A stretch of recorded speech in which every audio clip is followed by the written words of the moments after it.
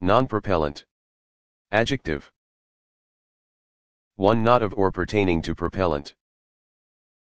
For example, the non-propellant uses of chlorofluorocarbons.